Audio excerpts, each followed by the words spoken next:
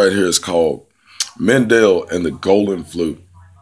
There once lived a lowly flute player who went by the name of Mendel. Mendel was the greatest flute player. No one played the flute better than Mendel. And Mendel knew he was the greatest, but he felt like something was missing. So one day Mendel ventured out to see if he could find what he was missing. As he ventured on, he came upon a bag with something shiny inside.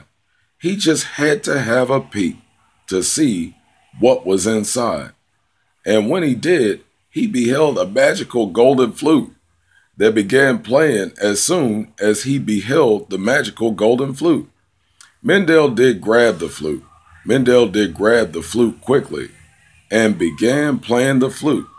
Mendel began playing the flute quickly. When he did so, all of his clothes turned to radiant gold. Mendel was so amazed for how not only his clothes turned to gold, every time he played the flute, everything around him turned to gold. And for the rest of his days, everything would turn to gold wherever he and the flute would go. And this is the story of Mendel and the golden flute. Praise Mendel, the greatest flute player, and his magical golden flute. The story right there is called Mendel and the golden flute.